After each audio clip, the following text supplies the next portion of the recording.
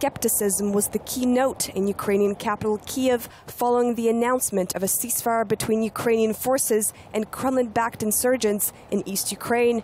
The deal aims to bring five months of fighting to an end.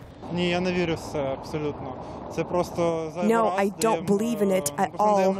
It's another possibility for Putin and his accomplices to regroup and start a new offensive against Ukraine.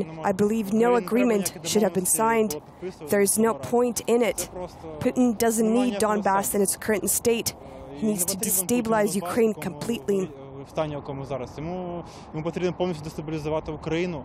Ukrainian Prime Minister Arseniy Yatsenyuk says a full peace deal must also involve Russia removing all forces from East Ukraine. I believe Putin will not abandon his plans because a lot of resources and efforts were spent to seize a part of Ukraine. The Kremlin denies having any role in the conflict, despite mounting evidence to the contrary including Russian soldiers being captured on Ukrainian territory. I don't believe in it. Russia has deceived us a lot of times. It will deceive us one more time. The conflict in East Ukraine has claimed over 2,000 lives since it began in April after Russia illegally annexed the Ukrainian Black Sea Peninsula of Crimea.